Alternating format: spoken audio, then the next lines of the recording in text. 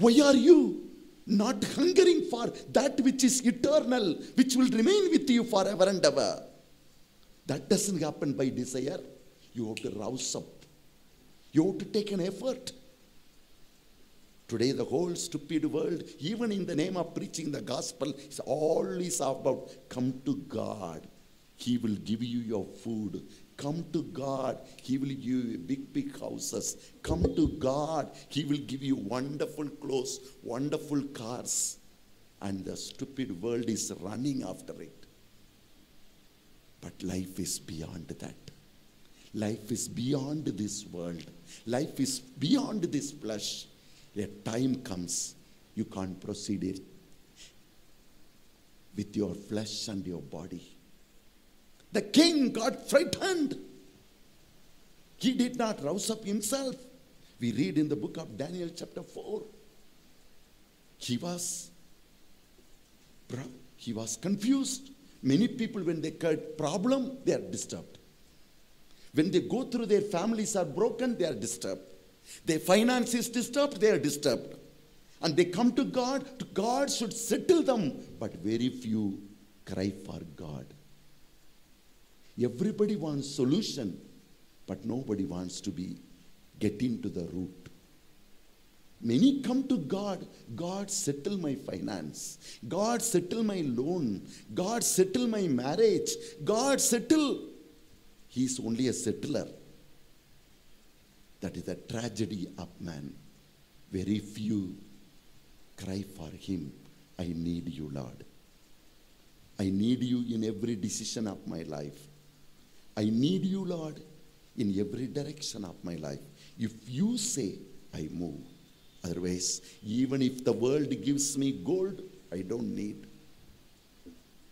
Today, man is mad after support of somebody else. Will this fellow support me? Will my superior support me? Will that fellow will support me? Your life is beyond your support. And so, a man who moves with the Spirit only can reveal to you the things of the flesh. Only with the light you can see what's happening, whether your dress is okay or not.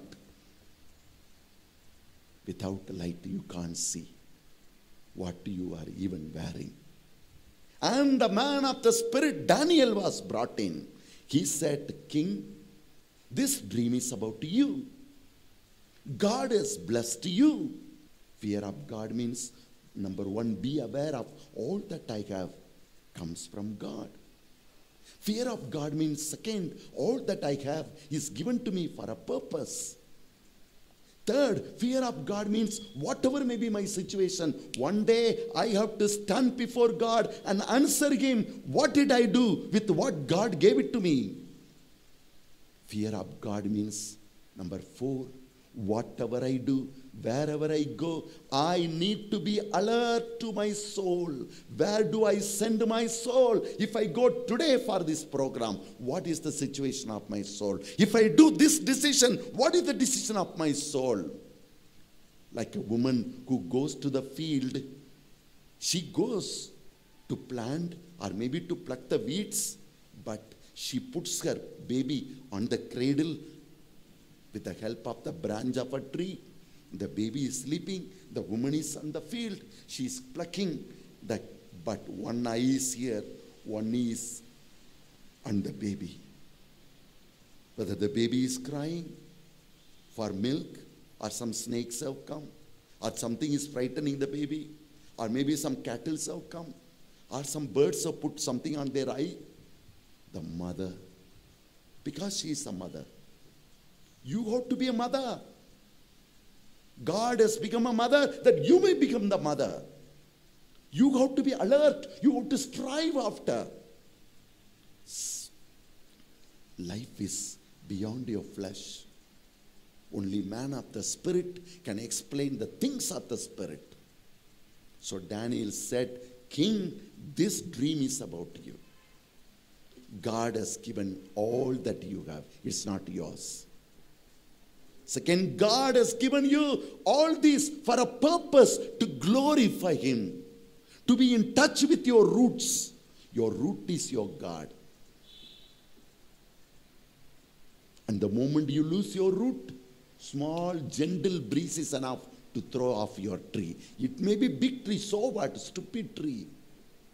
If it is not be rooted, a little breeze is enough to throw away that tree. And take care to glorify God. Take care to glorify God. You are created by God. You are created to glorify God. If your life, if your decision do not glorify God, if they do not bring glory to God, it is go- you are going to be landed in some problem. You are going to be landed in some kind of attack of the enemy. You are going to be attacked by the flesh or by the world or by the spirit. Be careful. That's why we read in Romans chapter 1, verse 21 onwards. Though we cannot see him, you look, even a small tree is enough, man, to recognize your creator. Your room, just peep out and see. The leaves are looking up. How is it? There is no water, but the tree is up 40 feet. And to send the water to second floor, man is struggling with so, so big motor. But there is no water. Who takes the water to the last leaves on the top of the tree? Who pumps the water? Who pumps the water? You open your eyes. You need not have a great teacher. Look at the nature. It will teach you who rules this world. Who is the root of your life? Who is the one, even in the drought season of your life, who can sustain you, who can protect you? Continue.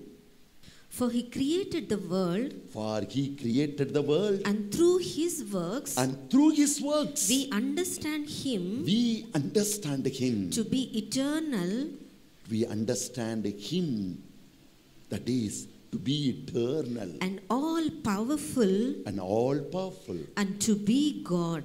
and to be God. And they have no excuse, for they knew God and did not glorify him Though they knew God, they did not glorify him as was fitting, as it was fitting, nor did they give thanks to him. nor did they give thanks to him. Do you know what On is the the- meaning of that? Man refuses to connect himself to his spirit. He said, Now, why people are not arousing themselves to catch hold up to God? Here, St. Paul puts it in another way. That is, Isaiah said. Here he says, Why man is the moment you are not after glorifying God, you are, you are not focusing yourself or pushing yourself to take your life beyond your flesh. You are not training your body. You are not taking effort. Your body says, I feel like sleeping. You are allowing. Your flesh is ruling you. You feel like going there. You are going. It's my life. What is that? My money. Who are you? If your wife is asking, somebody else is asking, why are you wasting money, man? You are bringing, bring that money. We can buy one kg chicken. Nicely, the whole family can. You stupid, keep quiet. Are you working? I am working. Immediately, the enemy is there to answer your flesh. It will never allow. That's why Romans 8 6 says, the flesh and the spirit, they don't go together. They fight with each other. The cry for name, the cry for fame, the cry for to belong to somebody. I, I want to be the leader. I want to be great. I want to achieve this. There is- nothing wrong in that. But in the absence of God, this will take you to zero. It will take you to ruin. You become big for glory of God or to glory of yourself. Man has to recognize our life is beyond the body. That's why it says, though they knew God, they did not glorify God. So when you are not in touch with spirit, what will happen?